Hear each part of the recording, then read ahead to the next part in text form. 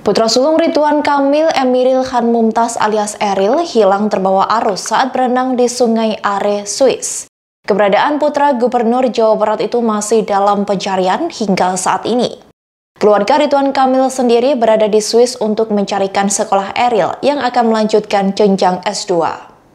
Dikutip dari tribunjatim.com pada Jumat 27 Mei, juru bicara keluarga LP Nasmuzaman mengatakan Emiril Khan Mumtaz alias biasa yang dipanggil Eril mengalami musibah di Bern, Swiss pada 26 Mei 2022 siang hari waktu Swiss. Saat musibah itu terjadi, Ridwan Kamil sedang berada di Inggris dalam kegiatan pemerintahan di luar negeri bersama delegasi dari Pemprov Jawa Barat.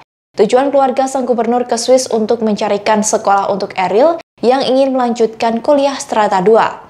Dijelaskan, kronologinya Eril berenang di sungai Are Bern bersama adik dan kawannya.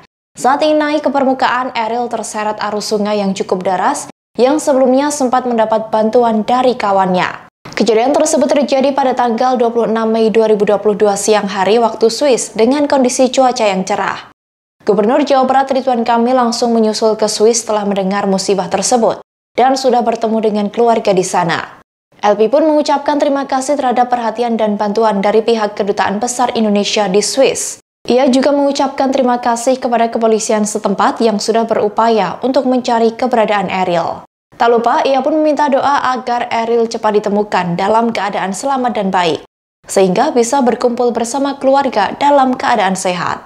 Oke Tribuners, nantikan style update lainnya hanya di Youtube Tribun Style Official.